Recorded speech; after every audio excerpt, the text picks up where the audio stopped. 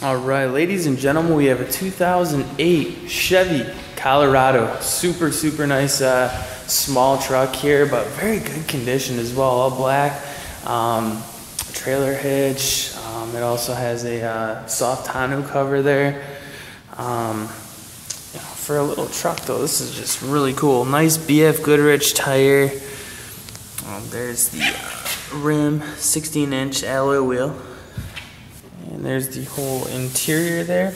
Um, power windows, power locks, um, seat controls, um, low mileage on this thing is just a little over a hundred. Um, there's the MP3 uh, WMA CD player, traction control, um, climate control, OnStar ready. I mean, pretty much everything you guys can think of.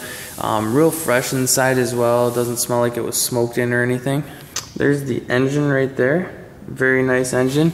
Um, as you can see right there, it's a 2900, so 2.9 liter Vortec um, V6. So lots of power and everything to move this little truck. All right, folks, there you have the 2008 Chevy Colorado.